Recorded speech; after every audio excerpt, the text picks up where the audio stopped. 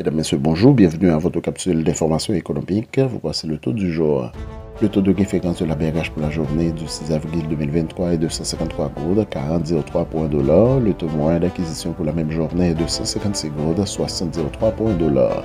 À la clôture du marché le mercredi 5 avril 2023, le baril de pétrole était à 80,33 soit une hausse de 0,15%.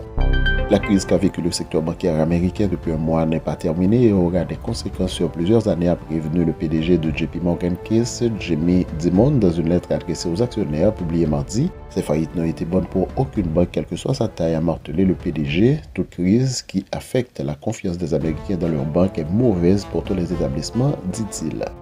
Le Fonds international de développement agricole émet mercredi son premier placement privé d'un montant de 65 millions d'euros pour quatre fonds de pension en Allemagne, dont Hamburger Pension Case est le principal investisseur. Cet investissement permettra au final d'aider des milliers de petits exportants vivant dans les zones rurales des pays en développement ainsi que leurs familles à augmenter leur production et à accéder plus facilement aux filières et aux marchés entre autres. L'Allemagne, la plus grosse économie de la zone euro, devrait connaître une croissance de 0,3% de son PIB en 2023, échappant ainsi à la récession grâce à la baisse des prix de l'énergie et malgré une forte inflation à 6%, indiquent mercredi les principaux instituts économiques du pays. Fait de la rubrique Profil Info, merci de votre écoute à demain.